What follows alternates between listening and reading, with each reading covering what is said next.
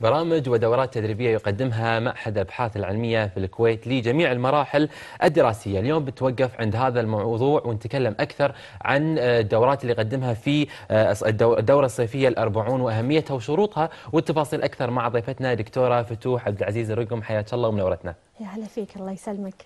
حياك الله دكتورة. وإذا نتكلم عن معهد الكويت للأبحاث العلمية ويقدم دورات متواصلة ودنا نعرف الهدف من هذه الدورات اللي ودكم أنها أو تحققونها بمعنى آخر يعني. هو المعهد يقوم بهذه الدورات صار له 40 عام قاعد يقوم في هذه الدورات اللي هي جزء من المسؤولية المجتمعية بحيث إنه يشارك في الطلبة بجميع مختلف الفئات العمرية في برامج مختلفة للفئات العمرية المختلفة على أساس إنهم يتم التعرف على البرامج المختلفة اللي تتم في معهد الكويت للابحاث العلمية. وأيضا نحن نعدهم بطريقة معينة بحيث ان نثقفهم إذا هو عنده اتجاهات علمية شنو ممكن يكون مستقبل حياته؟ إحنا نساعده في التخطيط. ممتاز. وعلى هالأساس نقوم في هذا البر... هذه البرامج على مدى ال40 عام السابقه ممتاز. دكتورة يمكن ذكرت أنا في البداية أن أنتم جميع المراحل الدراسية تدربون ولكن لو نتكلم أكثر ونوضح للمشاهدين شنو هي الفئة المستهدفة للدورات اللي قاعد تقدمونها؟ منهم. إحنا في عندنا برنامجين هو الربيعي والصيفي واللي نتكلم عنه الدورة التدريبية الطلابية الصيفية. الفئة المستهدفة هي الصف العاشر والحادي عشر. حلو. آه بالنسبة للمرحلة الثانوية وأيضا جزء آه يخص طلبة المرحلة الجامعيين. آه اللي هم في المرحلة الأولى إذا كان من الدراسات التكنولوجية أو الصف الثاني هو بالنسبة للجامعة. ممتاز. دكتورة في في هذا النوع من الدورات بالنهاية أنتم ملتزمين في عدد معين. صح. يعني أكيد أنا متأكد أن أنتم الود ودكم أن تستقبلون كل الشباب كلها. لكن بالنهاية العدد عشان تقدمون على قولتهم القيمة اللي أنتم قاعد تخططون لها. فالأعداد اللي يعني تقبلونها خلينا نقول في هذه الدورات. إحنا نقبل بحدود 150 طالب وطالبة من المرحلة الثانوية. وبحدود 50 طالب وطالبة من المرحلة الجامعية. من ضمنهم من دول مجلس التعاون الخليجي. وأيضا في هذا العام راح يكون في معنا يمكن بحدود 15 أو يعني أكثر شيء يمكن 20 طالب من مرحله من موافئه الداون. ممتاز. عدد جدا جميل صحيح. في هذه الدورة إذا كل سنة في هذا العدد. أتوقع قاعد يتخرجون مجموعة جدا كبيرة وحتى إحنا نستفيد من هذه الطاقات الشبابية اللي عندنا. وأتوقع كل سنة يكون عندكم شعار للدورة. خلينا نتكلم عن شعاركم هذه السنة. هذه السنة شعارنا اللي هو التنمية المستدامة لمستقبل الكويت الطموح. وهذا العنوان تم اختياره هو كل مدير دورة هو اللي يختار موضوع الدورة. وتم اختياره بحيث أنه يتماشى مع رؤية حضرة صاحب السمو أمير البلاد حفظه الله ورعاه اللي هو برؤية كويت جديدة بحلول عام 2035 والهدف منها كان هو توجه موحد لمستقبل مزدهر ومستدام. وعلى هالأساس تم اختيار هذا الموضوع اخترته بحيث أنه يتماشى مع هذه الرؤية. حلو والله الأمانة شعار وايد حلو.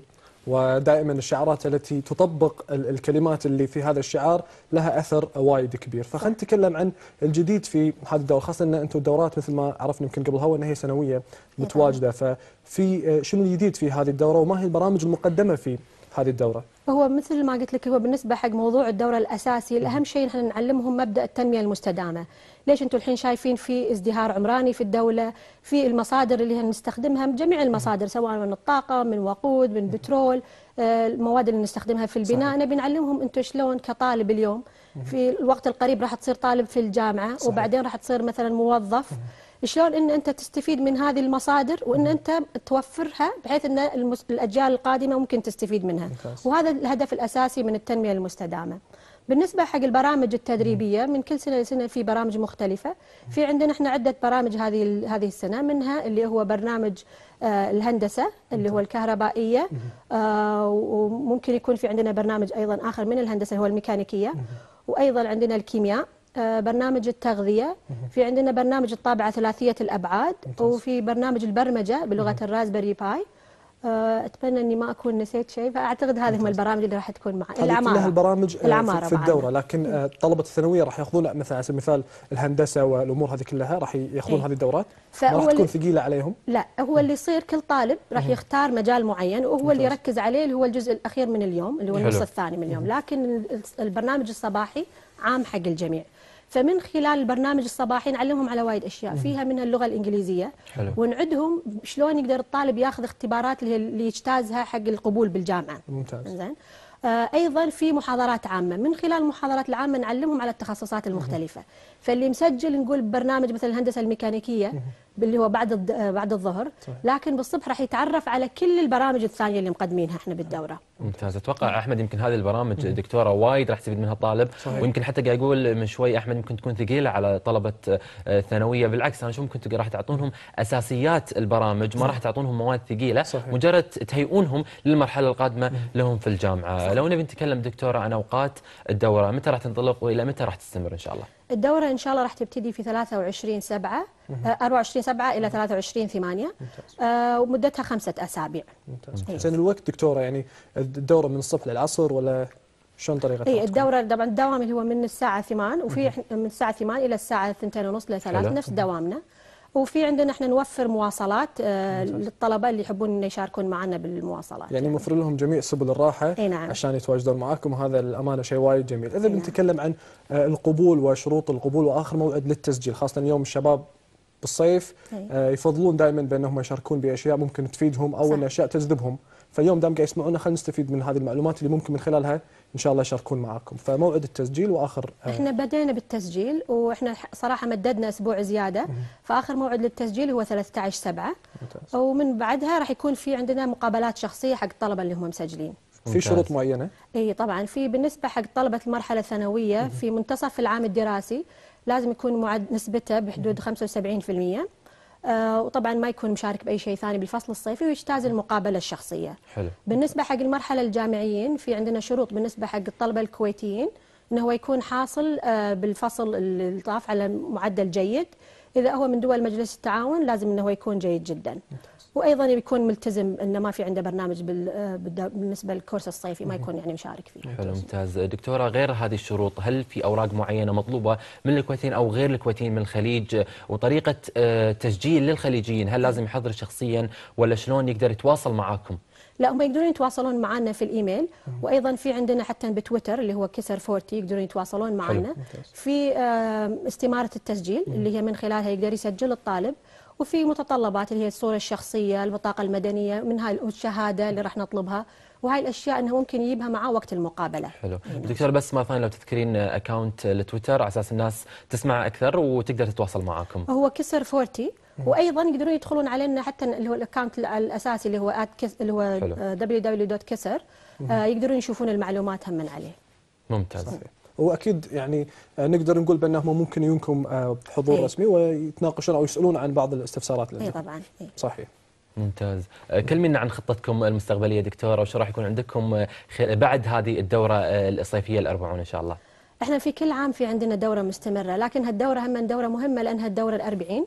فراح نحاول نركز فيه على البرنامج هذا أيضا يستقطب الناس اللي شاركوا معنا في الدورات السابقة من سواء الناس اللي هم آه، كانوا مديرين الدورة أو من الناس اللي شاركوا. فبنحاول نحن نجمعهم كلهم بحيث. إن الطلبة اللي حاضرين يشوفون وين وصلوا وشنو أثر هالدورة عليهم. إحنا مستمرين في عمل هذه الدورات دائما المعهد هذه السنة راح يحتفل آه، باحتفاليته الخمسين على إنشاء المعهد. فيعني الأنشطة دائما إحنا تكون عندنا متجددة ولكن دائما في عندنا الدورة الصيفية والدورة الربيعية. الدورة الربيعية لفئة عمرية مختلفة هي طلبة المرحلة المتوسطة. حلو. أي. دكتورة من هذا المنبر برنامج رايكم شباب كلمة أخيرة توجهنا لكل الشباب وتشجعينهم أنهم يشتركون في مثل هذه البرامج الجميلة قاعد تقدمونها كل سنة آه، سواء بالكويت أو من الخليج لأن الكل قاعد يتابعنا حتى في الوطن العربي أنهم يشاركون في هذا البرنامج. أول شيء أحب أوجه لكم الشكر على دعوتكم الكريمة. حياك الشيء الثاني أن هذا الب- البرامج اللي إحنا نعدها تعد الشخص حق حياته العملية. صحيح. ويمكن مثل ما قلت لكم أنا في السابق هاي أثرت حياه على حياتي شخصيا. صحيح. وإحنا لاحظنا أشخاص كثار شاركوا معنا في هذه الدورات. آه، آه، حددوا مصير حياتهم من الالتحاق في هذه الدورة. ليش؟ لأن إحنا نعلمهم على أشياء أساسية مو بس الأشياء العلمية أيضا المهارات الحياتية. صحيح. وتخلي الواحد يتوجه يمكن تلاقي الطالب قاعد يسجل ما يعرف أبي أروح طب ولا أبي أروح هندسة. هذه المشاركة في هذه الدورات تخليه يشوف بعيونه عنده إذا في عنده أسئلة إحنا نساعده على الإجابة وأيضا نصقل شخصيته ونوجهه وأيضا نوجههم حتى حق العطاء وحب البلد. يعني هذا شيء أساسي أيضا نركز عليه بالإضافة إلى الجانب العلمي. حلو. صحيح. دائما حب البلد وتنمية هذا الوطن بعيدا عن الشعارات في تطبيق الخطط اللي ذكرتيها هذا راح يكون أكيد له أثر وايد كبير للجيل القادم. دكتورة فتوح عبد العزيز رقم كل الشكر على حضورك ودائما إن شاء الله نتمنى الازدهار لأكيد هذه الدورات الصيفية اللي تفيد شبابنا. مشكورين. يعني ما قصرت العفو. كل الشكر لك ونتمنى إن الناس كل اللي يتابعونا إنه فعلا يكونون مثلك. أنت تغيرتي وتأثرتي من هذه البرامج صحيح. ورحتي اثرتي وغيرتي مجموعة كبيرة من الشباب. كلمه اخيره حابة تقولينها؟ الشكر لكم وصراحة أنا أتمنى من الطلبة إنهم يشاركون معنا وإحنا بانتظار تسجيلهم. كل الشكر لك. ونتمنى لك التوفيق ولكل الطلبة المشاركين في هذه الدورة إن شاء الله. فاصل ورادين